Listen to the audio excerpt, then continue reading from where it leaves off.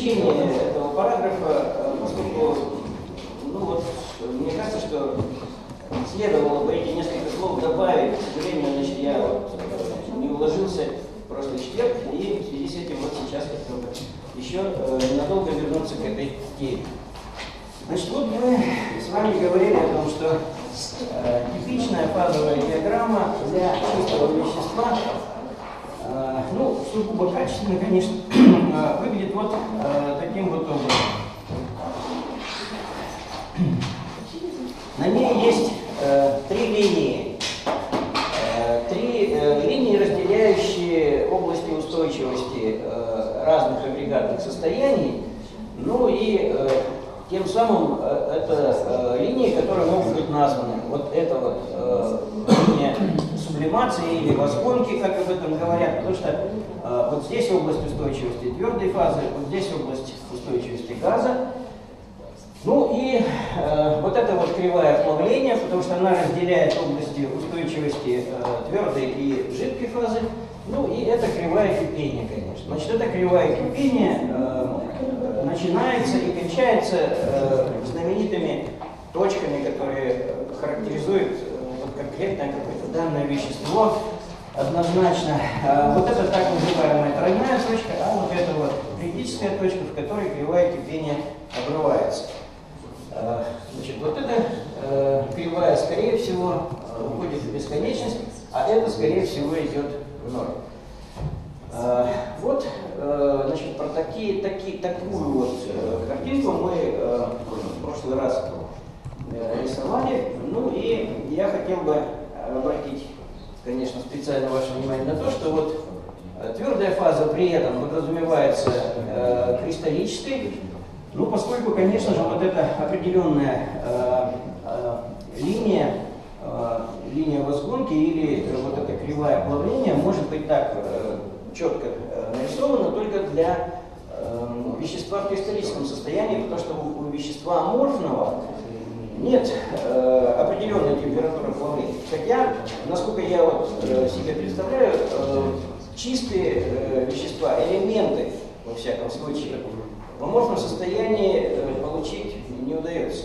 Твердое, твердое э, аморфное состояние, э, по-моему, для элементов во всяком случае, ну я не слышал, может быть, время прошло, может быть, это уже как-то сделано, но, в общем-то, конечно, когда вот мы обсуждаем, мы говорим, что это диаграмма чистого вещества, то тут автоматически подразумевается, что это фаза кристалла.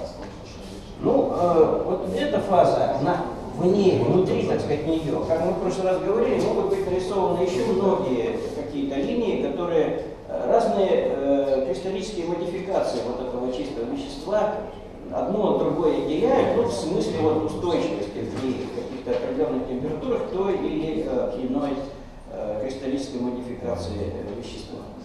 Ну и вот э, в самом конце значит, занятия мы говорили о том, что э, есть еще причина, по которой ну, эти э, совершенно определенным образом проведенные линии нельзя э, понимать абсолютно всерьез.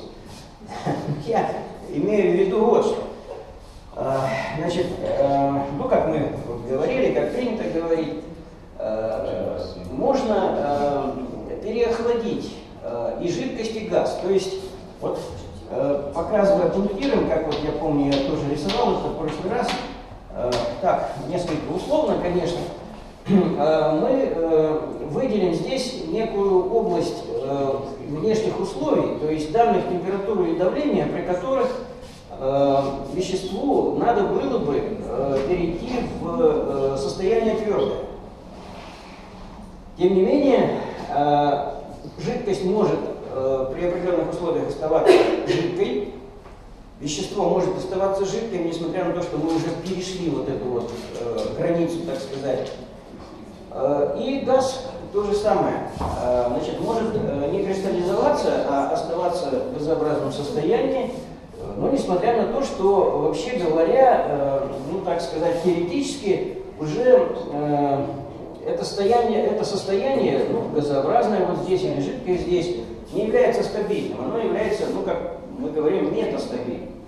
То есть мы видим эту устойчивость. Но это устойчивость э, с минимумом э, потенциала гипса, который э, выше, чем э, соответствующий минимум, отвечающий э, твердому состоянию. Ну, то есть, вот, э, условно говоря, мы можем изобразить э, в зависимости, вот так условно, это какие-то внешние условия одной, э, ну, чтобы не рисовать над плоскостью э, трехмерную какую-то картинку на доске над плоской. У нас есть э, какие-то два минимума, э, в которых, э, значит, которым отвечает э, одна и другая фаза. И вот, скажем, э, значит, вот при этих вот условиях, э, которые вот здесь вот у нас э, имеются в виду, ну, то есть вот тут условная какая-то P, T, данная точка.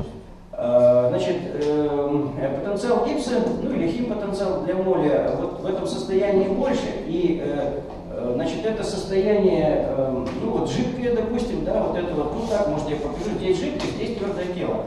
Вещество, вообще-то говоря, надо бы перебраться сюда. Это стабильное состояние, это стабильная фаза, а это метастабильная, как мы говорим, ну, то есть условно стабильная, квазистабильная, метастабильная. А, ну, нужен какой-то толчок для того, чтобы перевести вещество через эту вот какую-то горку, которая здесь Э, имеется, и это, э, условно говоря, горка, как мы раз говорили, может быть э, понята эм, в связи с ну, мыслью о том, что когда зародыш какой-то фазы внутри другой фазы возникает, это неизбежно связано с образованием поверхности раздела, и поэтому мы должны учитывать, что вот это создание поверхности требует энергии какой-то, э, которую э, веществу не хочется, так сказать, тратить. И э, хотя, в принципе, перейти вот в эту самую более устойчивую фазу веществу было бы энергетически выгодно, тем не менее, значит, для того, чтобы это действительно сделать, надо приложить некоторые, так сказать, усилия. И вещество этого не делает, оно вот остается в этой самой какой-то метастабильной фазе, ну, несмотря на то, что, казалось бы, это э, уже невыгодно. Ну и э, вот э, здесь надо еще, ну это у вас, наверное, уже нарисовано было.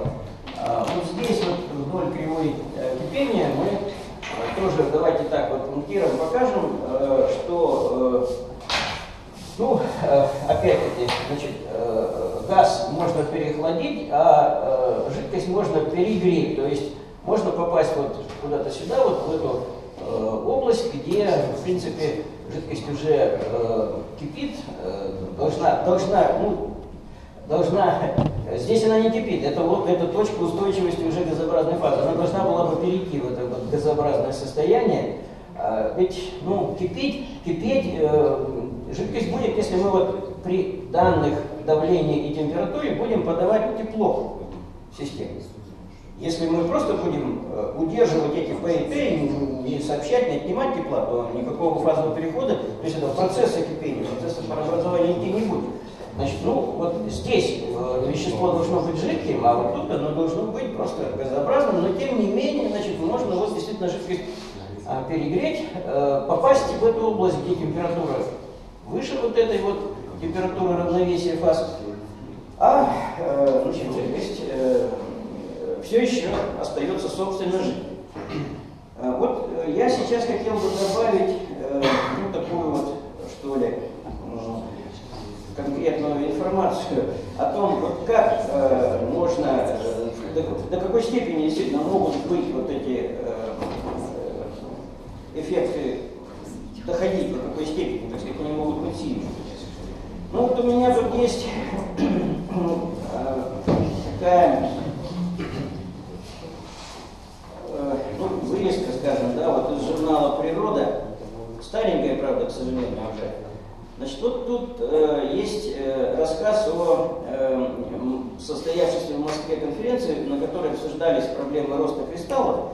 Ну и вот э, кое-что я вот отсюда э, выписал какие-то значит, числа. Э, ну, там э, беседа журналиста с э, целым рядом вот наших советских тогда главных специалистов в этой области, ну, в том числе с ныне покойным директором Института кристаллографии Академии наук Вайнштейном. Ну и вот значит, там он и несколько его коллег значит, ну, приводят такой пример. Значит, я просто вот сейчас цитату прямо оттуда читаю. Значит, хорошо очищенные расплавы многих веществ удается переохладить до температур, составляющих около 70% от абсолютных температур плавления соответствующих кристаллов. Так, например, никель с температурой плавления э, 1726 градусов Кельвина.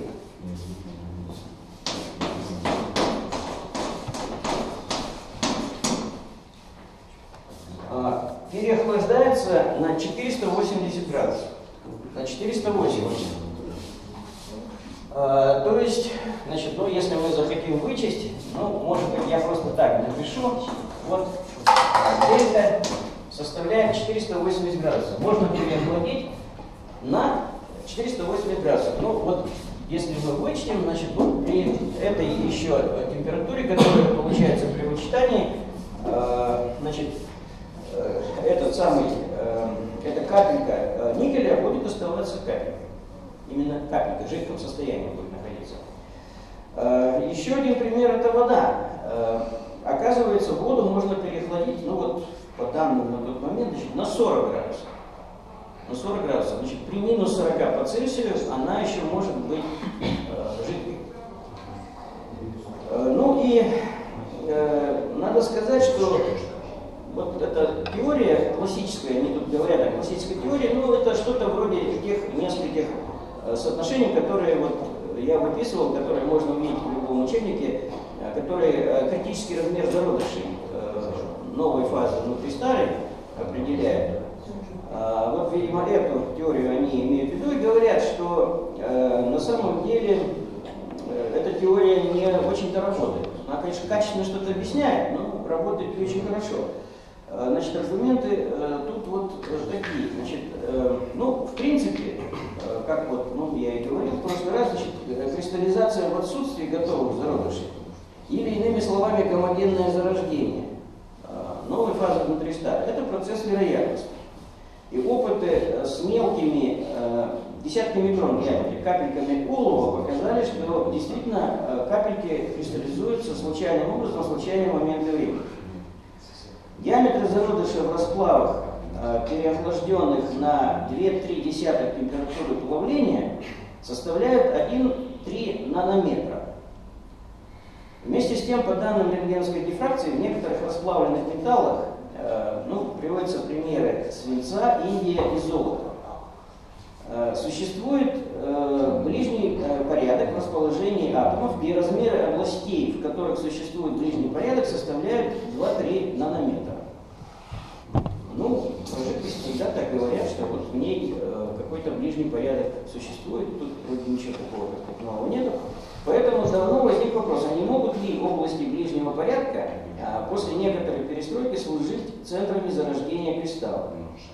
Недавние исследования показали, что, по-видимому, это не так. Оказалось, что капельки галлия с температурой плавления 302 а, Кельвина удается переохладить до 150 Кельвинов, то есть до половины точки плавления не 0,7, а 0,5. А, значит, вот э, температура плавления, значит, речь идет о галлии.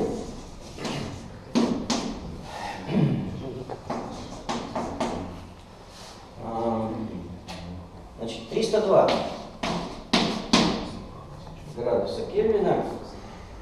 А, значит, э, а переохладить удается до 150 Кельвинов. Ну, то есть если говорить о вот этой дельта, то она э, составляет э, 152 э, градуса Кельвина.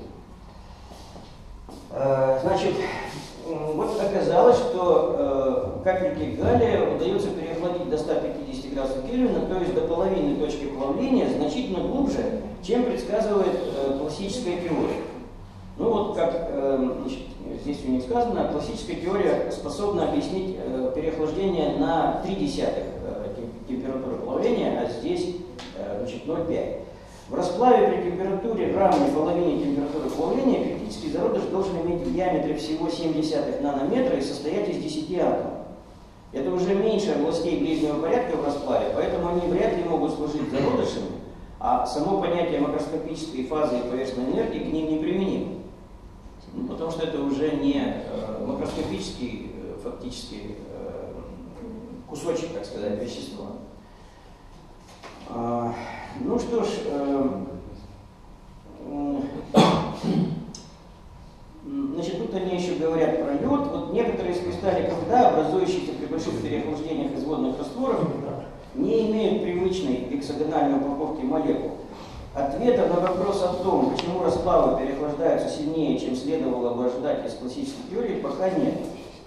Дело, по-видимому, в том, что малые агрегаты не могут служить зародышами макрофазы, так как их характеристики мало отличаются от параметров расплава.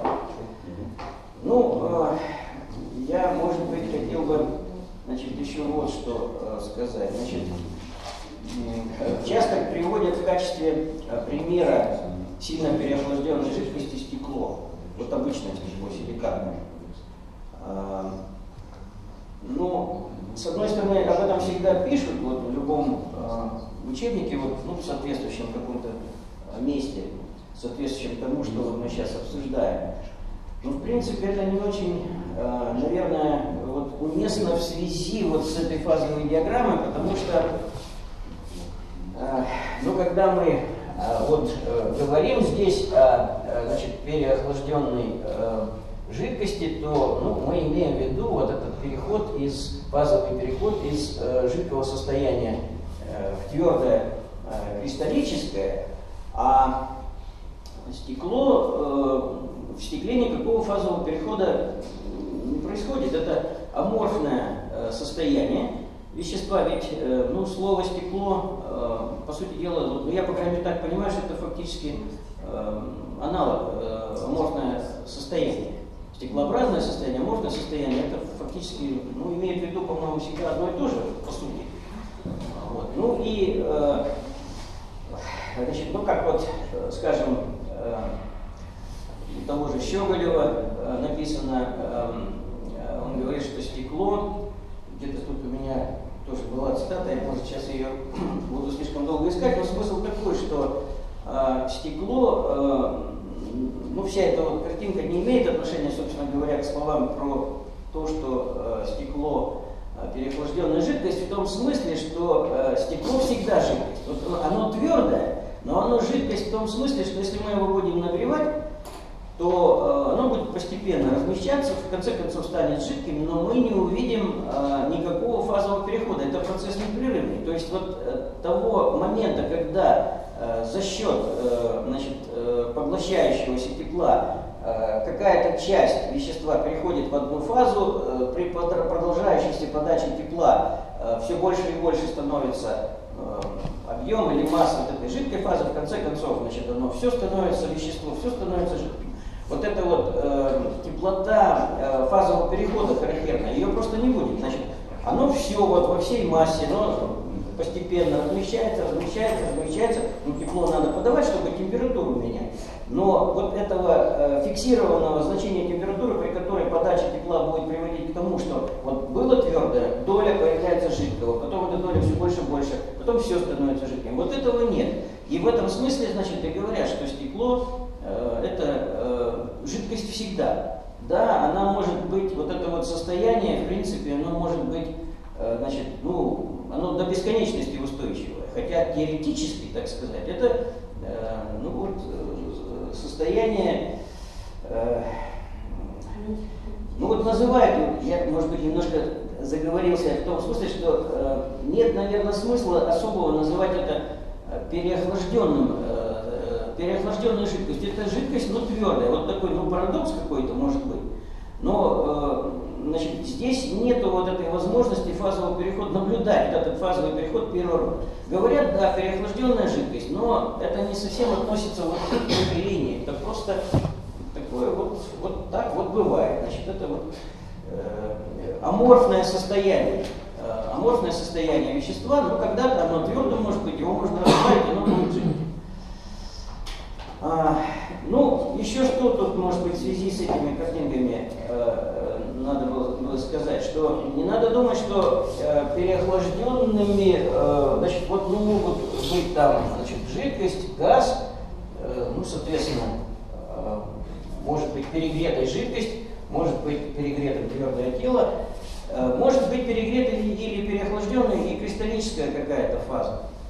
Э, может быть так, что, э, ну вот здесь вот у нас вот в принципе, вот э, эта область устойчивости твердой фазы, она может быть разбита ну, на какие-то там значит, э, области устойчивости. В прошлый раз я там для воды пытался ну, как-то качественно изобразить эти разные кристаллические модификации. Вот э, здесь тоже может быть так, что в принципе э, ну, должна быть устойчивой уже какая-то одна модификация, а тем не менее э, одна какая-то геометрия решетки.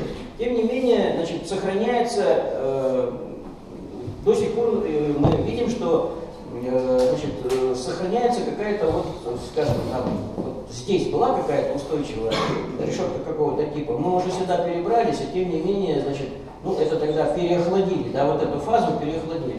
А тем не менее, значит, не возникает вот эта вот э, структура, а все еще сохраняется вот это. То есть перегрев и переохлаждение возможно и вот так, для, не только для, вот здесь, для этих, ну, классические, так сказать, три линии, а и с кристаллическими модификациями может быть э, значит, такая же вот э, история.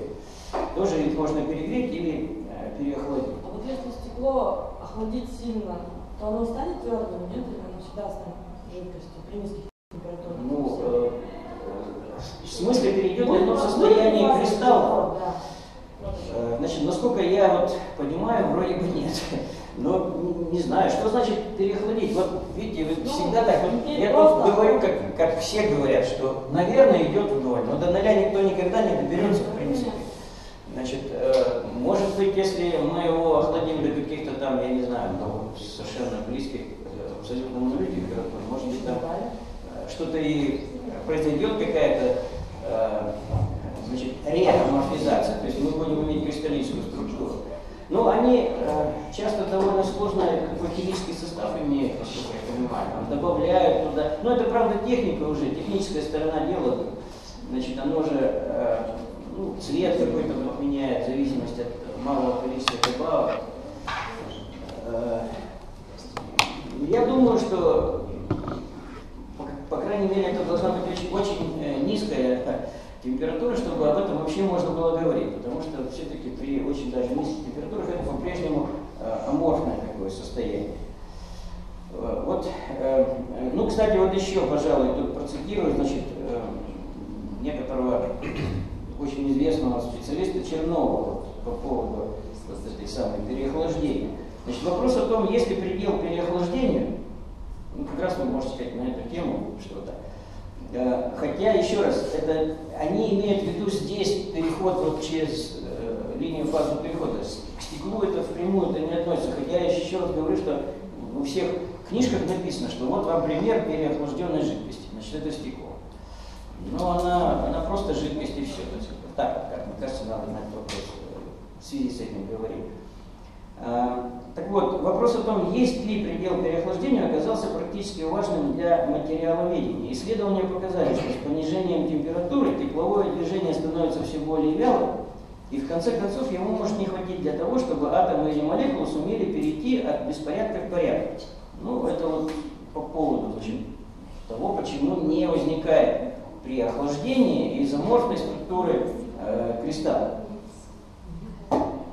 В результате будет заморожена неупорядоченная структура, возникнет стекло. Примером могут служить обычные силикатные стекла. А, менее 20 лет назад, но это правда относится э, уже там э, тоже древним временам, удалось впервые получить аморфные металлы. Ну это значит 60-е годы. А, правда, пока все они представляют собой сплавы и соединения, а не элементы. А не элементы. А, ну, поэтому я и говорю, что, может быть, сегодня уже это неверно, но вот на тот момент э, значит, говорилось о том, что э, аморфные э, металлы это, собственно, всегда сплав и соединение, а не элемент. А мы здесь говорим про чистое вещество. Ну и вот, может быть, это тоже любопытно, аморфные металлы или металлические стекла замечательно противостоят коррозии. А ферромагнетики легко намагничиваются до высоких значений магнитной индукции по сравнению с кристаллическими модификациями. С малыми потерями перемагничиваются, так что могут оказаться очень эффективными в сердечниках трансформаторов. Ну и, э, опять же, может быть, это не имеет, что ли, но прямого отношения э, значит, к нашей теме, но я все-таки э, хотел бы заметить, что вот, знаете, тут приведены ну, какие-то на тот момент самые такие значительные достижения вот, в создании монокристаллов. Так вот, тут говорится, что Э, масса искусственных кристаллов в настоящее время достигает сотен килограммов. Сюда относятся, например, монокристаллы щелочно-галоидных соединений массой 150-200 килограмм. 150-200 килограмм монокристаллов. Ну, э, раньше тут вот э, приведена фотография э, значит, кристалла э, кремния. Э, и вот говорится, что масса отдельных образцов достигает 30-40 килограмм, длина метра полутора, ну, диаметр, он выращен в виде такого цилиндра, диаметр 10-15 сантиметров. Ну, просто вот по поводу того, как можно, какого размера можно, э, сейчас наверняка техника, так сказать, ушла вперед, в общем, вот такие вот э, гигантские э, монокристаллы могут быть получены. Ну вот, значит, наверное, я хотел закончить вот с этим нашим четвертым параграфом, который мы называли, четвертый параграф в главе фазовых перехода, значит, ну, мы его называли тройная критическая точка, явление перегрева перехождения. По-моему, я, значит, так, а, вот, попросил вас озаглавить, так сказать, соответствующий кусочек наших э, рассуждений. Сейчас, э, я думаю, мы поговорим о э, теории Вандервальса. Э, это э, первая феноменологическая, конечно, но э, теория, которая какой-то степени э, термодинамически объясняет э, вот э, эти самые фазовые диаграммы. Разумеется, не э, целиком, ни в коем случае но э, все-таки, э, все-таки знак, так сказать, признательности какой-то Вандервальцу, давайте мы об этом поговорим отдельно специально, в отдельном параграфе. Ну и я уже говорил вам, вы, наверное, могли запомнить, что в 1910 году он Премию, я сейчас вот точно процитирую определение Нобелевского комитета, за работы, содержащие уравнение агрегатных состояний газов и жидкостей. Вот так значит, было сформулировано. Э, решение Нобелевского комитета. Э, ну, э, значит, мы только что обсуждали общий вид фазовой диаграммы агрегатных состояний для чистых веществ. Характер обсуждения, конечно, такой был описательный. Уравнение состояний для различных фаз обсуждении никак не присутствовали. А, попыток вывести уравнение состояния из микроскопических вот каких-то представлений, моделей мы э, не делали, ну, тем более, что это не термодинамическое дело. А, но, э, конечно, мы говорили о том, что вот э, состояние вещества определяется взаимодействием составляющих э, его в микрочастиц. Ну а внешние условия, вот, температура, давление, например, значит, они влияют, разумеется, на взаимодействие. Они как-то сказываются на том, как э, частицы взаимодействуют э, друг с другом. Э, параллельно с термодинамикой, как вы прекрасно знаете, развивалась тут физика, и она в свое время дала рецепт вывода термодинамических уравнений состояния из микроскопической модели. Он известен уже очень давно. Но э, реально и сегодня, конечно, не может быть э, решена такая вот задача. То есть из первых принципов, то есть зная, вот, что собой представляют атомы. Вот какой-то у нас есть элемент. Вот мы хорошо знаем, что собой представляет его атом. Вот давайте, значит, мы, основываясь на этом и на принципах статистической физики, давайте будем получать э, уравнение состояния и в связи с этим вот и эту самую фазовую диаграмму. Значит, можем мы ее решить? Можем мы, вот, взяв э, какие-то известные сведения нам, какие-то характеристики атома, сказать, чему должна быть равна для совокупности вот этих вот атомов при данных каких-то условиях, э, чему должен быть, ну скажем, объем вещества. Или можем мы вычислить, э, чему должна быть, можем предсказать тогда, как-то через э, характеристики атома, чему должна быть равна у этого вещества, составленного вот из этих атомов в этой совокупности, тройная точка или критическая.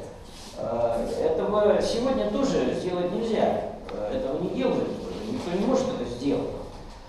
Ну и э, какая-то вот первая теория, в которой что-то на эту тему, какая-то попытка как-то понять э, ну, вот, существование этой фазовой диаграммы, какая-то попытка была сделана как раз Вандервальсом, э, попытка, в которой, э, из которой следовало, что э, значит, ну, действительно если мы принимаем вот эту гипотезу, что вещество состоит из атомов и молекул, вот времена, когда начинала работать Вандервальс, это еще э, атомная гипотеза, это гипотеза, в самом настоящем смысле слова. Значит, ну, вы, наверное, э, понимаете, что значит, окончательно вот исчезли противники атомно-молекулярной теории строения вещества только в 20 веке. Значит, в самом начале 20 века был виднейший физико-химик Нерс, который говорил, что я в атомы не верю, потому что я их не видел и никогда их не увижу. И вообще это, так сказать, какая-то вот выдумка, может быть удобная, но я не верю и не буду верить, значит, то, что они существуют. После работы Эйнштейна и Смолоховского по броуновскому движению он э, признал, что э, это, хотя это тоже все достаточно косвенно, э, что да, значит, он снимает свои возражения, но это было вот сто лет назад, сто лет назад, совсем недавно. Ну, так вот, значит, Вандервальс, э, э, что, что, ну, что э, продемонстрировал в какой-то мере, что, значит, вот давайте примем эту э, гипотезу, э, значит, вещество состоит из, ну, молекул, молекулы определенным образом, давайте представим себе взаимодействующими, и в таком случае мы, вот, учитывая взаимодействие, учитывая конечный размер молекул, мы сможем, ну, вот кое-что понять, вот, объяснить в каком-то смысле, феноменологически, конечно, не за счет вот, э, ну, каких-то подробностей, но тем не менее мы можем как-то, учитывая э, взаимодействие, это существование молекул, ну, что-то вот про фазовую диаграмму э, ума заключить. Ну, э, значит, что именно э, ну, он предложил э, сделать? Значит, вот мы э, предполагаем, что значит, существует, существуют молекулы, они взаимодействуют, ну и из самых общих соображений, конечно, э, значит, давайте будем предполагать, что они отталкиваются на близких расстояниях и э, притягиваются на больших. Иначе нам просто существование вот, э, вещества в этих разных состояниях агрегатных не понять. Э, поведение вещества при условиях вот этих внешних воздействий, когда мы его сжимаем или наоборот пытаемся значит, как-то вот какой-то стержень растянуть, не объяснить, если мы не будем этого предполагать. Ну и вот, э, э, значит, давайте будем исходить из того, что вот у нас есть, вот если мы энергию взаимодействия, ну, допустим, мы там мы рисуем двух молекул в зависимости от расстояния между ними. Вот одна молекула вот другая на расстоянии каком-то r, да? А, значит, вот, э, ну, были высказаны там целая, так сказать, серия, ну, естественно, э, значит, предположения о том, что эта кривая качественно выглядит вот каким-то таким образом, да? Значит, э, вот потенциальная энергия взаимодействия, когда молекулы сближаются на расстоянии, ну, тут, может быть, надо было бы побольше нарисовать, что ли, вот когда они уже практически размером придать больше, да, чтобы здесь вот они уже практически, когда вот этот бурный рост начинается, значит, они практически уже э, сошлись, и расстояние между ними равно их диаметру. Э, вот, э, значит, естественно считать, что потенциальная энергия взаимодействия выглядит вот качественно как-то вот так. Значит, здесь притяжение, тут э, отталкивание. Э, ну и понятно, конечно, что некоторым непрерывным образом э, меняется вот это взаимодействие при э, изменении расстояния между э, нашими значит, молекулами. Но давайте поступим таким образом. Вот будем считать, что мы можем эту кривую заменить на вот такую. Значит, у нас такой бесконечно высокий сразу барьер здесь возникает энергетический. То есть абсолютно исключим э, сближение э, молекул, ну, при котором они как бы вот уже соприкасаются. Э, значит, эта бесконечная энергия будет невозможной. А здесь э, заменим энергию взаимодействия молекулы с какой-то ее, э, значит, такой напарницей, подружкой, товаркой, э, которая зависит от э, расстояния, разумеется, вот каким-то образом детали нам неизвестны. Ну, сегодня, конечно, гораздо больше известно, чем было известно в Вандервальсе. Но на тот момент, ну, наверное, совсем ничего, кроме того, что, ну, есть какая-то такая э, кривая, лежащая в области отрицательных значений. Э, так вот, э, просто поступим так, вот заменим вот эту площадь, да, э, значит, ну, как-то вот э, какой-то вот такой вот линии, которая, ну, конечно, где-то придется оборвать, э, чтобы площадь была, площадь вот этого прямоугольника, ну он лежит под э, значит, нашей осью, была площадью, которая ну вот образуется осью абсцисс и вот этой вот кривой какой-то сложной.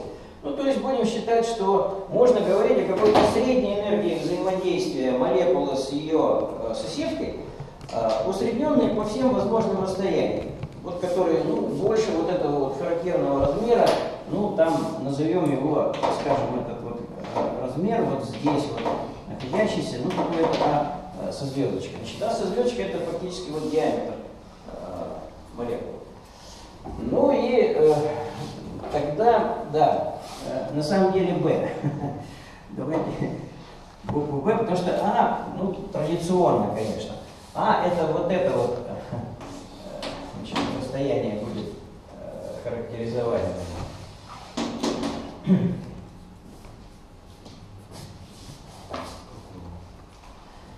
Э, ну и э, тогда, значит, дальше можно ну, попробовать вот эти вот какие-то характеристики размеров молекул и их взаимодействия учитывать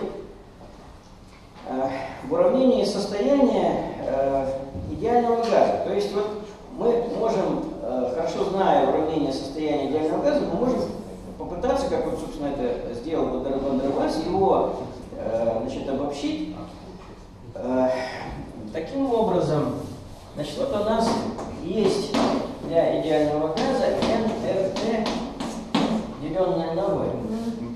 Значит, а давайте вот, говорит Вандервальс, мы Э, значит, учтем с вами, что э, молекулы имеют вот какой-то конечный размер. Вот есть этот э, диаметр. Э, давайте мы э, поправим объем, э, собственно, свободный, так сказать, объем, э, объем свободный, объем занятый э, газом, э, вычтем вот из него, собственно, объем молекул.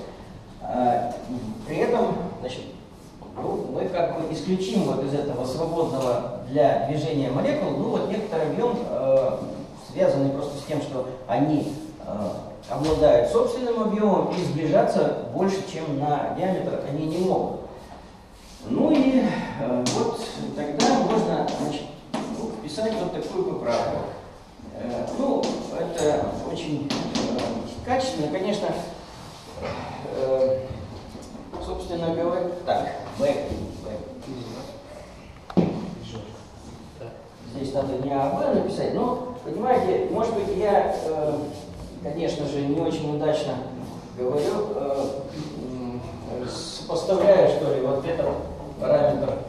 Здесь очевидным образом B имеет размерность длины, да? Здесь же у меня, ну, может быть, э, для того, чтобы это было разумнее, надо было бы написать b в кубе, b со звездой в кубе, потому что речь идет об объеме. Значит, n это, разумеется, э, число молекул, которое, э, ну, можно сократить вот здесь, вот, если хочется, с э, числом, которое вот сюда, вот, мы можем же написать это как число э, значит, Авогадро умноженное на постоянную Больцмана, ну, это э, не самое важное.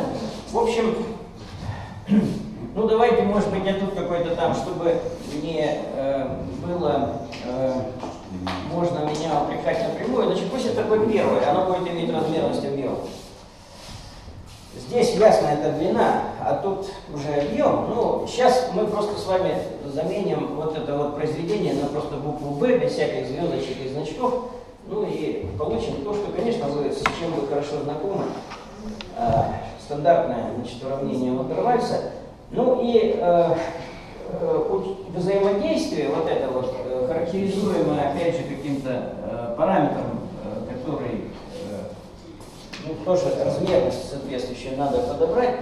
Значит, это взаимодействие есть притяжение. Вот, э, значит, здесь наша кривая расположена в области отрицательных значений потенциальной энергии взаимодействия. Это притяжение. И э, наклонена она у нас так, эта кривая, что значит, будет вызывать притяжение, конечно, вот этой молекулы, той, которая в начале координат у нас, в которую мы поместили начало координат.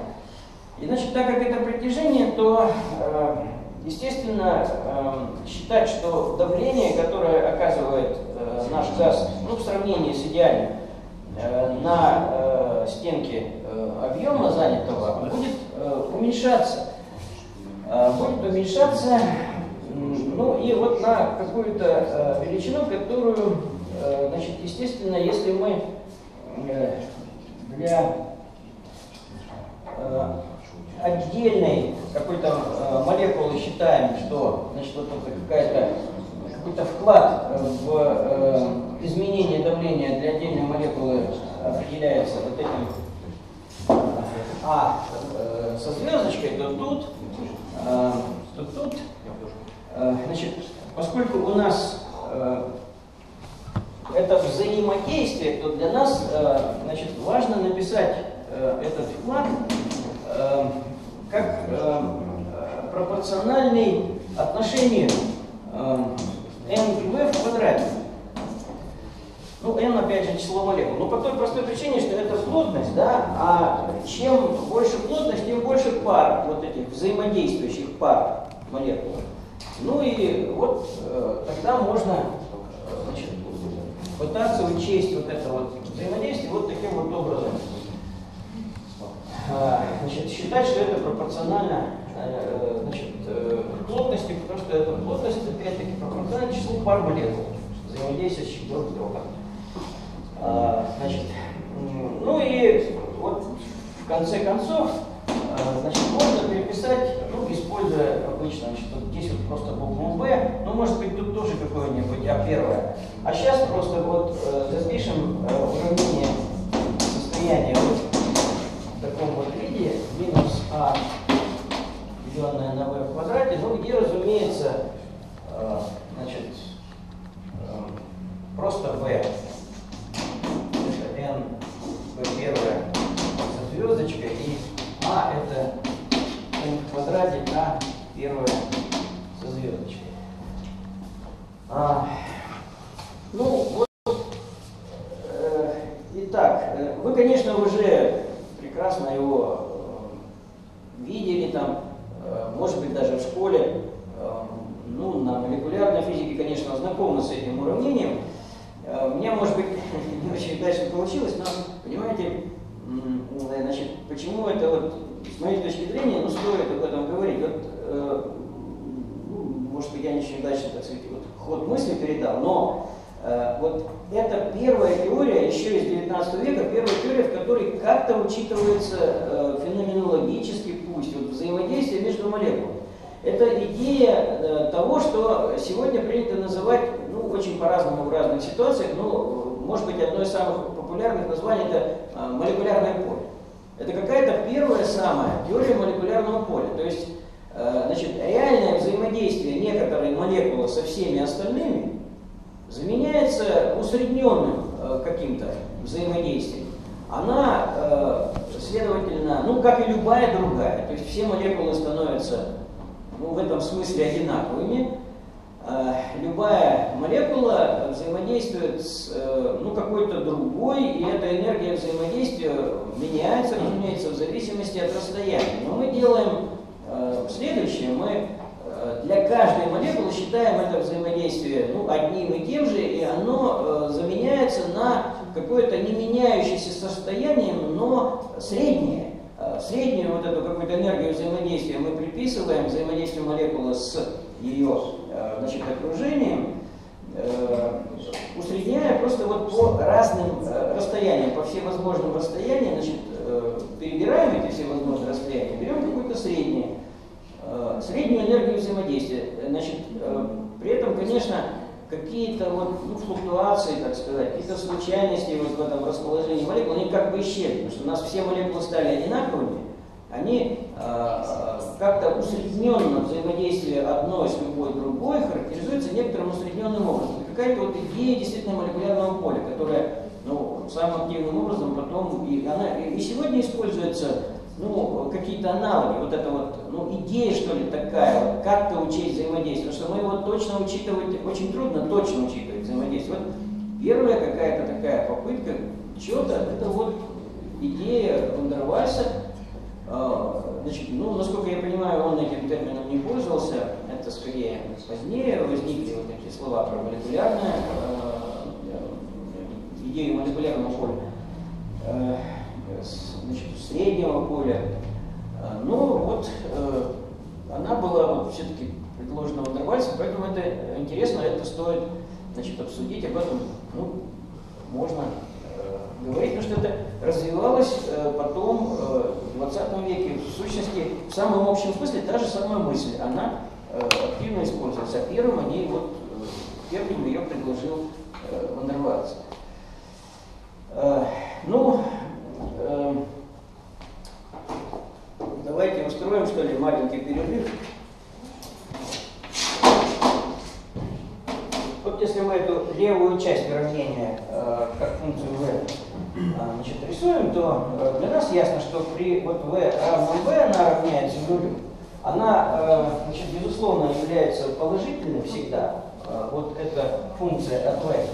И она стремится к нулю при v, стремящемся к бесконечности. Ну, то есть это какая-то кривая, на которой обязательно должен быть максимум. Левая часть уравнения представляется графической кривой, на которой обязательно должен быть максимум. Но э, значит, для того, чтобы э, уравнение имело решение, э, температура не должна быть слишком большой, потому что если температура будет слишком большой, то вот эта вот правая часть nRT, значит, она никогда не будет равна левой части уравнения, не будет иметь решения. Таким образом, существует некоторая значит, критическая температура э, при переходе через которую э, в состоянии вещества возникает некое новое качество. Может быть, мы пока еще не э, знаем, что это такое, но вот факт состоит в том, что действительно э, сразу ясно, что существует некоторая температура критическая, которая, э, ну, она не, не обязательно уже нельзя понимать, не, не следует отсюда, что это та самая температура, которую мы раньше назвали критической, но что-то вот э, выделенная какая-то температура, безусловно, существует. Значит, как мы ее на, можем найти? Ну, э, нам надо найти вот этот экстремум конкретный. Э, значит, что ну, делается, так сказать, проще простого. Э, значит, э, мы находим экстремум этой функции. Я не буду сейчас это выписывать, но это же совершенно значит, очевидная вещь. Как это делается? Значит, ясно, что э, экстремум э, находится при, э, отвечает э, значению объема, которое, ну, все-таки сразу давайте мы назовем критическим, это 3b. 3b. Ну, дифференцируем еще раз. Э, приравнивая нулю производную, значит, находим, что это максимум ну, просто потому что значит, э, соответствующая э, вторая производная, э, значит, она является отрицательной. Значит, вот максимум, максимум левой части достигается, как легко устанавливается, при приравниванием этой производной по v нулю, этот максимум достигается при v равном 3b, и если мы сюда вот подставим, сюда вот вместо b эти самые 3b, то получается так, значит, что левая часть равна 8а, деленная на 27b. Левая часть оказывается вот такой. Э, значит, э, таким образом, э, вот этот максимум на кривой, это вот эти вот 8а, деленное на 27b. 8а, деленное на 27b. Ну и таким образом, значит, решение нашего уравнения будет иметь только в том случае, когда э, температура не превышает э, критической, которую мы определим, э, естественно, вот таким вот образом. Э, значит,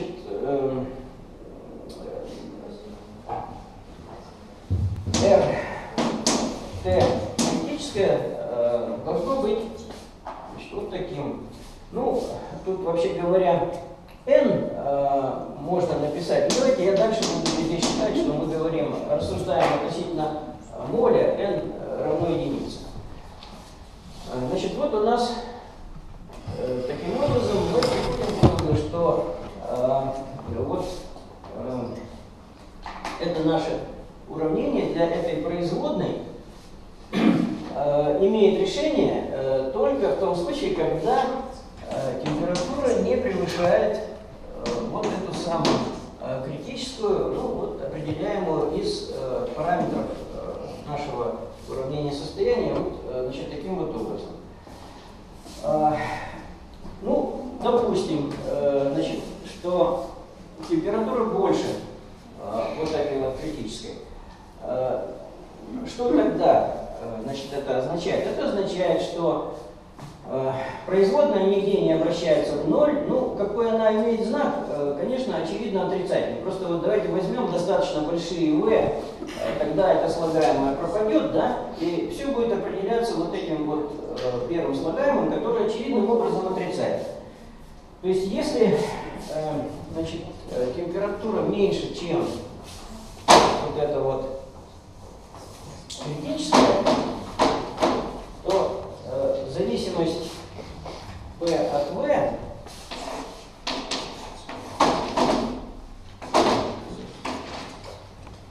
Значит, ну будет какой-то такой, вот она э, должна падать, э, давление должно падать из-за того, что это производная нигде не обращается в ноль, а, ну а какой она имеет знак? Конечно, отрицательный, вот из-за этого минуса. Ну и картинка какая-то должна быть вот такая. T больше, чем Т критическое. Значит, если мы э, будем э, находиться при температуре значит, меньше, чем э,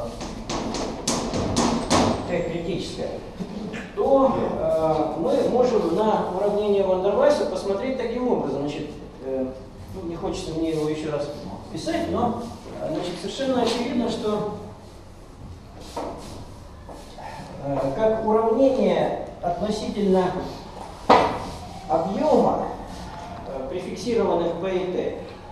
Это уравнение кубическое.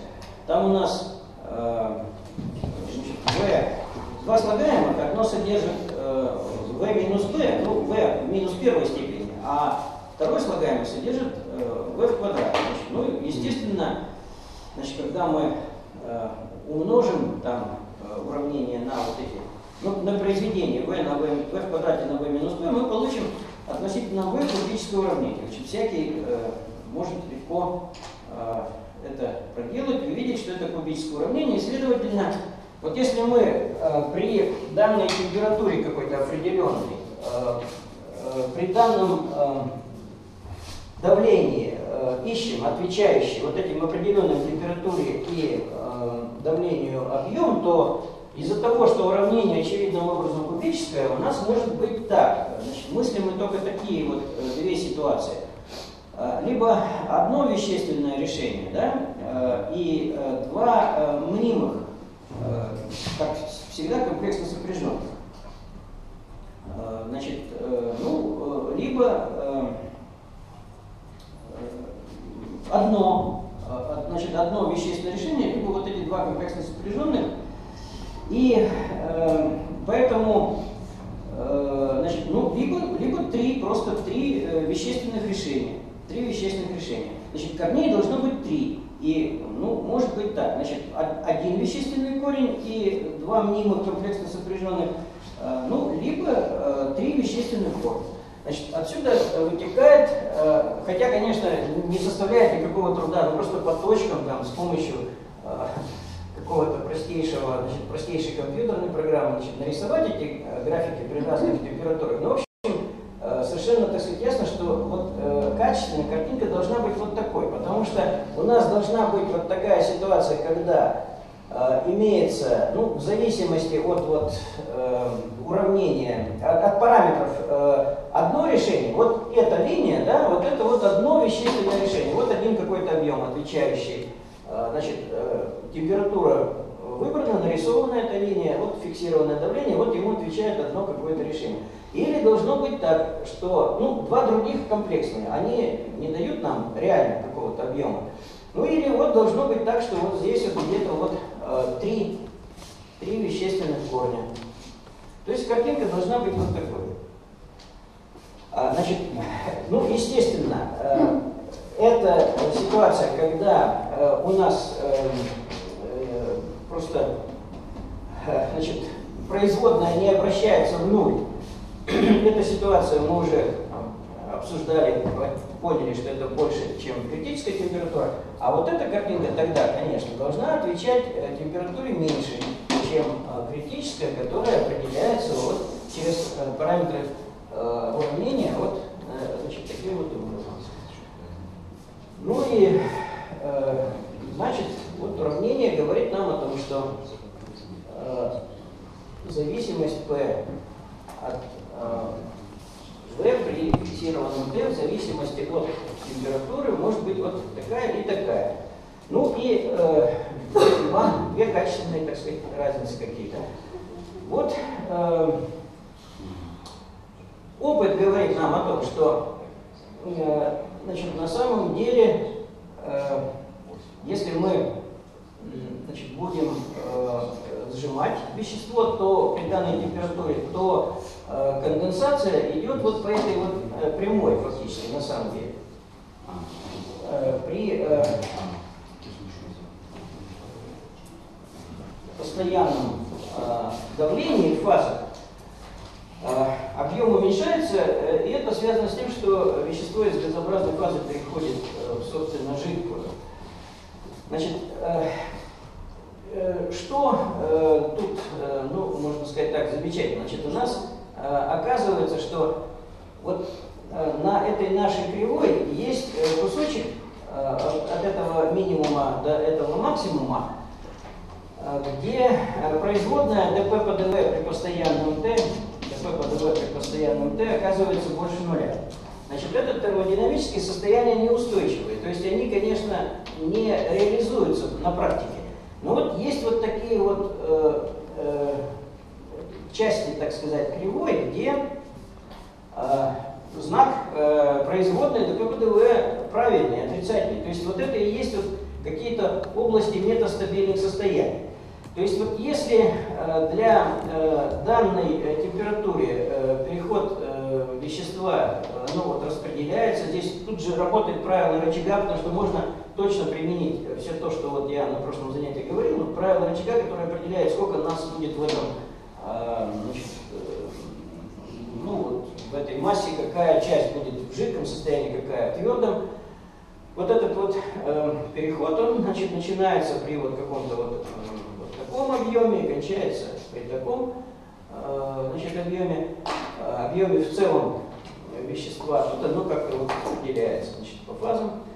Эм, вот здесь вот есть вот эти метастабильные состояния. Вот они э, изображаются здесь вот таким вот образом. И у нас может для какой-то другой температуры будет какая-то другая пара точек, которые ну, вот, определяют эти эм, состояния э, с данными ПЭТ, в которых э, вещество э, может значит, быть либо перегретой жидкостью, либо значит, переохлажденную паром. Э, здесь есть, э, конечно, граница. Вот если мы будем рассматривать температуру равную критической, то что будет собой представлять э, наша кривая? Значит, вот эти вот два экстремума, они при более высоких температурах будут становиться все ближе и ближе друг к другу и сольются в один в одну точку, точку перегиба. Вот, значит, здесь горизонтальная производная будет. Это вот будет та Э, кривая, которая отвечает э, критической температуре. Значит, вот здесь вот есть эти области. Вот, э, значит, сюда, вот в эту точку, вот, вот здесь вот мы можем показать вот эти вот метастабильные состояния. Вот они вот здесь вот находятся. Значит, вот как же, значит, вот так вот качественно это выглядит. Вот здесь сюда я должен попасть, вот здесь вот эти области метастабильных состояний, они тоже возникают вот при э, ну, таком значит, анализе этой нашей э, кривой. Э, если мы нашли э, значит, критическую э, температуру, если мы ее выразили через А и В, э, то э, мы э, легко можем найти и критическое давление тоже. Значит, у нас есть критический объем 3b, есть э, критическая температура, вот она дается вот этим вот выражением, просто в э, уравнение состояния, если мы э, туда подставим температуру, объем, то у нас получается тогда для э, критического давления вот такая величина. Э, 27 b в квадрате в знаменателе а поделенное на 27 b в квадрате. Значит, вот мы э, таким образом э, можем найти все вот эти три э, критические значения для объема, температуры и давления. И после этого мы э, можем э, измерять давление, объем и температуру в соответствующих э, э, единицах, единицах критического давления, объема и температуры. То есть мы можем Э, перейти к э, давлению P', которое, конечно, мы будем понимать вот таким вот образом. Объем – это объем реальный, который измеряется в единицах критического объема, ну и температура, значит, штрихованная. Это настоящая, так сказать, обычная температура, которая измеряется в единицах критической температуры. Значит, после этого э, нам надо просто вот в нашем уравнении э, P равняется n rt э, поделенное на v минус b минус a э, поделенное на v в квадрате, написать, э, что э, значит, P у нас равняется P э, штрих на P критическое n r э, t штрих на t критическая. Здесь V на V, V штрих на V критическая минус V. Ну и точно так же минус А. И здесь V штрих на V критическая в квадрате. А, вот э, используем э, значит, эту нашу возможность и э, если мы подставим вот сюда эти значения P штрих, T штрих, то э, уравнение принимает вот такой вот вид, в котором уже нету э, конкретных э, параметров А и Б. Уравнение принимает вот такой универсальный. P' равняется 8 T' штрих, э, поделенное на 3 V' штрих минус 1, минус 3 поделенное на V' в квадрате. Ну, вот я, конечно, не буду сейчас значит, проделывать. Вот Значит, возникает вот такое вот э, универсальное уравнение, э, э, которое применимо для э, любого конкретного э, вещества. Значит, здесь уже нет этих э, характеристик. Ну, это называют э, законом, говорят о законе соответственных состояний. Значит, если какие-то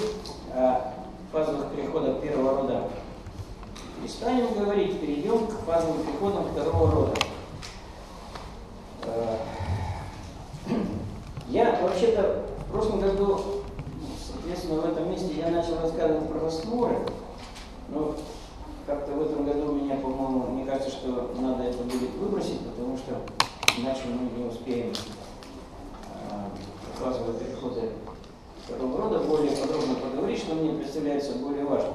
Значит, а, по-видимому, на следующей неделе у нас э, двойная инфекция, да, там уже все эти замены с Александром Сергеевичем прекратились, но все равно э, уже времени осталось очень мало, ну поэтому вот э, давайте сейчас мы оставим переходы первого рода позади и перейдем к переходам второго рода.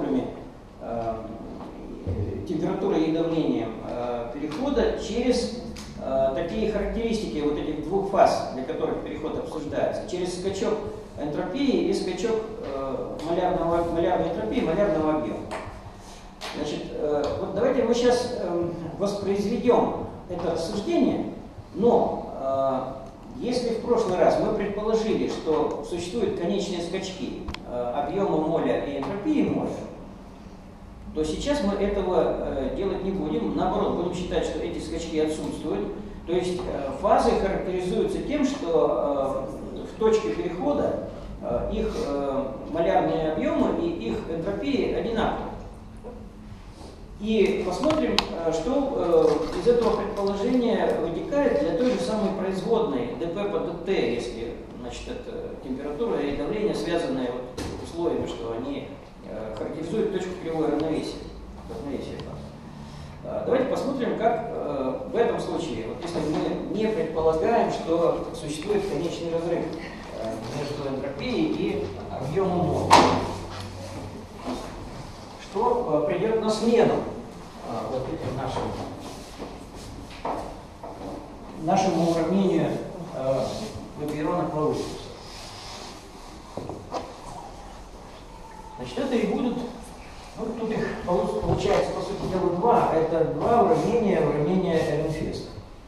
Итак, значит, вот мы э, значит, опять исходим из того, что э, вещество находится при определенной э, температуре и э, давлении, и э, эти температура и давление э, характеризуют как ту, так и другую фазу. Значит, э, достигнуто э, состояние термического и механического равновесия. И значит, условием химического равновесия при этом является равенство химических потенциалов этих наших каких-то абстрактных двух фаз. Ну, давайте для краткости запишем э, это равенство таким образом. Вот пусть у нас дельта мю равняется нулю. А, значит, что такое дельта мю? Ну, это вот мы, мю первое минус мю второе. Мю первое минус мю второе. Значит, это уравнение, ну, я могу записать вот таким вот образом. Значит, э, здесь у нас э, Т и П, э, которые, при которых, значит, определяет, при которых имеет место по предположению равновесие, значит, они могут быть показаны на вот этой вот нашей плоскости Т и П Эм, ну и вот это, из этого равенства э, химических потенциалов вытекает, что при каком-то одном определенном значении давления есть какая-то одна определенная температура, при которой э, будет иметь место химическое равновесие. То есть э, вещество не будет иметь желания переходить в какую-то одну определенную фазу. Выгоды энергетической при этом не будет. Значит, ну, у нас есть интерес как раз определить вот линию какую-то. Значит, эти точки должны давать нам какую-то линию, линию, а, значит, как раз вот а, то ли равновесие фаз, то ли фазового превращения, ну, при условии, что мы эту пересекаем, так сказать, эту линию, изменяя внешние условия. А, ну и вот, э, как в тот раз мы рассуждали, так же и сейчас. Давайте рассмотрим какие-то две близкие точки. Вот у нас вот это неизвестное, мы ее ищем, уравнение для нее ищем. А, но эта кривая существует, и какие-то две близкие точки а, значит, пусть характеризуются э, близкими значениями э, температуры и давления. Поскольку они обе принадлежат э, кривой равновесия, то значит, в этих обоих точках выполнено вот это вот условие, условие равновесия. То есть вот для Т и П мы написали это условие, но мы точно это можем э, написать и в другой соседней точке этой кривой. Равно нулю. Ну а сейчас просто э, воспользуемся э, формулой Тейлора, которая представляет, позволяет нам значит, представить вот эту функцию дельта мю ее значение в точке t плюс dt, э, p плюс dp э, через э, значение функции в точке t и p и через вот эти превращения температуры и давления dt и dp. Значит, ну вот формула Тейлора говорит нам, что если существует, конечно, Э, ну, мы всегда это предполагаем, если существуют э, э, вторые, до, до второго порядка включительно, значит, ну, на самом деле до третьего тоже, чтобы равенство было точным, значит, до третьего порядка включительно должны существовать частные производные, μ по t и по p, и смешанные производные должны существовать. Ну и тогда мы можем воспользоваться, мы можем сказать, что э, ну, соответствующим поправочным членом, который записывается уже через производное третьего порядка. Вот эта вот величина, которая стоит слева, она точно может быть представлена значит, вот таким образом. Это значение функции э, в точке t и p, и плюс э, значит, первый дифференциал, то есть d по dt от э, дельта мю умноженное на dt плюс d, ну это вот э, при постоянном v, э, при постоянном p и d по dp от э, дельта мю при постоянном t на dp. Первый дифференциал плюс второй, который мы пишем, конечно, потому что мы сейчас будем предполагать, что чего мы не делали, когда говорили о переходах первого рода. Мы будем предполагать, что вот это производная и вот это вот производная, что они точно равны нулю. А, и в связи с этим нам и надо будет написать слагаемое второго порядка. Значит, ну тут что написано? Тут э, одна вторая, ну вот по известным, так правилам математики, одна вторая d2 по э, dt дважды от дельта нем и постоянном p на dt в квадрате плюс э, 2 d2 дельта нем по э, dp по dt, dt, dp, ну и плюс d2 дельта ну по dt дважды при постоянном d на dp в квадрате. Вот. Скобку закрываем. И тут еще, вообще говоря, для того, чтобы равенство было совершенно точным, А, так, значит, я значит, здесь написал а, равно нулю, но значит, на самом деле вот это что? Ну, если я сначала не написал, то, наверное, можно написать в конце. Да? Значит, это э, я э, раскладываю, э, представляю э, вот э, эту нашу э, значение нашей я выписываю, пользуясь формулой Тейлора, значение нашей функции вот в этой точке, через ее значение в точке dp, ну и через эти превращения аргументов dt и dp. То есть вот это вот то, что написано, э, ну давайте точками здесь э, обозначим, вот я начал писать равенство, да, вот это написал. Э, значит, я не выписываю поправочный член третьего порядка, который, э, значит, как известно, при э, ну, каком-то э, промежуточном между t и dt, p и dp значении вот этих аргументов, будучи добавленным к тому, что написано, точно э, вот это выражение делает равным дельта мю точки t плюс дельта t, dt, p плюс дельта p. Вот. Значит, у нас э, это равно нулю, как вот здесь вот написано.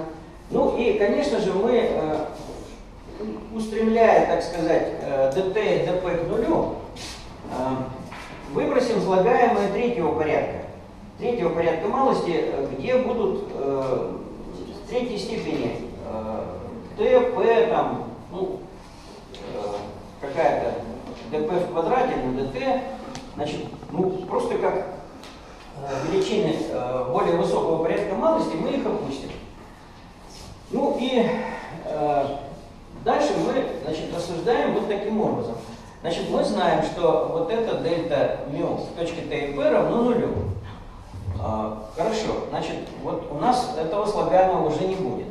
Дальше, вот давайте мы предположим, что э, d дельта S по э, dt э, дельта S, просто дельта S, конечно.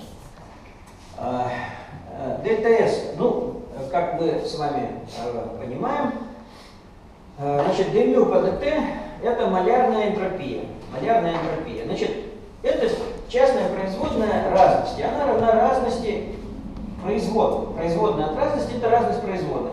Значит, фактически здесь стоит э, э, дельта S, то есть значение, э, разность между значениями малярных энтропий этих фаз. И вот давайте мы э, предположим, что э, вещество таково, что э, вот в точке э, перехода при равновесии э, эти энтропии одинаковы. Ну, это будет означать, что э, при переходе вещества из одной фазы в другую тепло не выделяется и не поглощается, энтропия не меняется и, следовательно, нет выделения или поглощения тепла.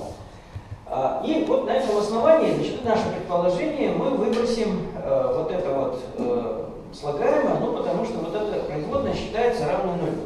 Значит, точно так же здесь э, вот это вот э, есть скачок э, малярного объема.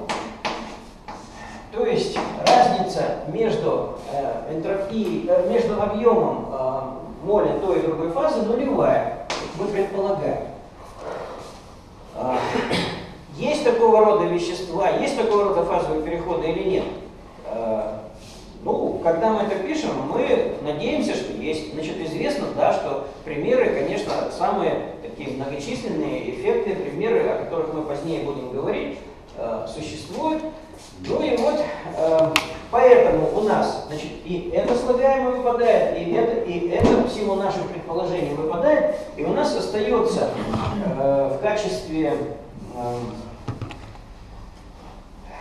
э, ну, не исчезающего дальше уже по нашему предположению, мы считаем, что эти производные э, не нули, у нас остается вот только вот это вот слагаемое, ну на одну вторую можно внимание не обращать, потому что мы все равно все это приравниваем нулю.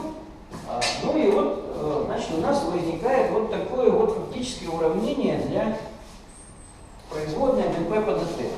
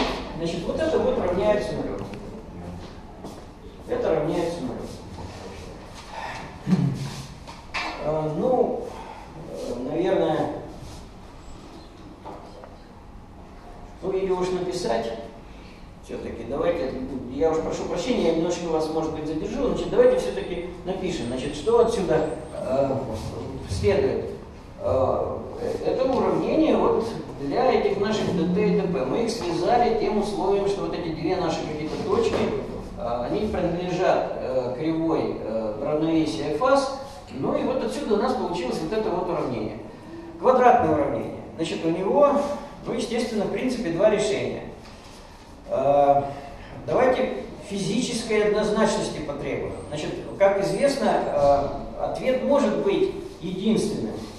Э, в том случае, когда, как это называется, дискриминант, значит, уравнение равен нулю. Физически, ну, естественно, думать, что ответ должен быть один. Ну и давайте пойдем на поводу, так сказать, у физики и просто объявим э, вот этот самый дискриминант равным нулю, и тогда у нас э, будет единственное решение, которое очень просто может быть значит, записано. А, ну, э, что такое дискриминант? Да, вот это вот у нас, ну как это мы в школе да, э, говорим, это А, это Б, э, значит, это э, С. Ну, коэффициенты в этом квадратном трехчлене, значит, АХ квадрат плюс БХ плюс С равняется нулю. Ищем Х. А, значит, дискриминант это что? Это b в квадрате минус 4ac. Значит, поскольку здесь есть двойка, то эту четверку можно сократить, и у нас получается фактически вот такое э, соотношение. d2 э, дельта мю по dp dt в квадрате должно быть равно, значит, это 2 э, а это b, b в квадрате минус 4ac. Значит, четверки я сократил, а c это вот эти вот производные. Значит, я перенесу направо, мне получается вот так. d2 дельта мю а, по dt дважды. При постоянном p надо умножить э, на d2 дельта мю у dp э, дважды э, при постоянном t вот э, это условие того, что решение единственное. Эти два корня мы заставили этим совпасть. Ну а э, тогда, э, значит, что собой э, представляет, если этот дискриминант равен нулю, то э, значит, решение, то есть вот эта производная dt по dp, значит, она определяется таким образом, значит, это b в квадрате, да, деленное на 2. А, так, значит, x э, b в квадрате плюс-минус, значит, э, корень из дискриминанта, да, значит, поделенное на 2. Ну, э, значит, мы должны написать вот, э, вот это вот, э, э, так, значит, 4 Получается 2 d2 дельта мю dp dt. Значит, надо поделить на d2 дельта мю по dt в квадрате э, при постоянном p. Так, э, на... b в квадрате. Почему минус b? А, минус b, да, еще. Минус b. А, так, значит, э, вот, ну как там это? Первое, второе, да? А, минус b квадрате Минус b. минус... Нет, минус b. Минус b. А, минус без квадрата. Без квадрата. B в квадрате делено на 2, да? Здесь этот самый дискриминант. А, так, значит, э, тогда это вот b, 2b. Нет, просто, просто b делен, здесь двойка должна быть, да? А, И тут минус надо поставить. А, значит, это b, это b. И э, мы это должны поделить на э, 2а. А это вот у меня вот эта вот штука, да? Так, значит, вот, э, вот таким вот образом, значит, это требование единственности, а э, это, собственно, э, значит, уравнение э, для выражения для производной dp по dt. Производная dp по dt. Ну, конечно, надо было бы его сейчас переписать через... Так, да, двойки-то не надо на самом деле, потому что э, b вот в B входит вот эта двойка, да, а, а здесь я делю на 2А. Я прошу прощения, значит, здесь, конечно, надо вот так. Сейчас правильно, наконец.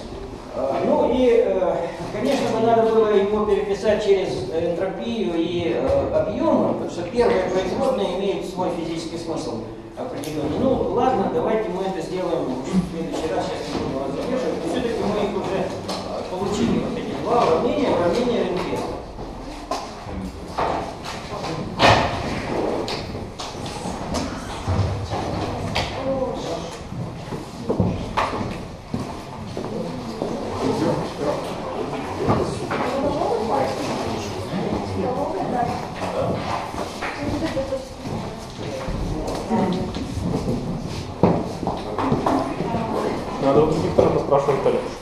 На какой стороне?